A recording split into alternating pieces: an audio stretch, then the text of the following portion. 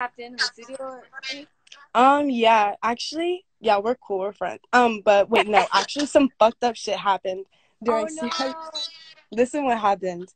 Um, I was in Charlotte for CIAA weekend with all my homegirls, and we Yeah. pulled up to the studio because he told us to come, Yeah. and some bullshit happened. But No so we're not on the best of terms.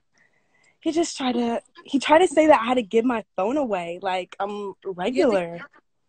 Like, you know, like, Oh, put your phone away.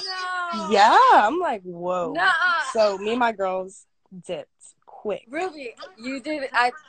I'm not even like literally talk to you. I would have done. it. Yeah, what the fuck? Niggas What are the tripping. hell? I'm next time I see him, I'll be like, you tripping. Tell him like He's young though, right? he's older than me. I don't know, but Oh, and he just got the same type of dog as me too. If you saw, Um, I, he has the same dog as you. Yeah, it's cute as fuck. I'm gonna. They're gonna have babies. His is a boy dog, and mine's a girl dog. So Wait, that's cute. Y'all could be. no, no, no, no, no. Friends, friends. I'm dead. But yeah, Damn. Um. yeah. Wait. So, do you like? How have you been able to resist backwards? Because I feel like I try to always say I'm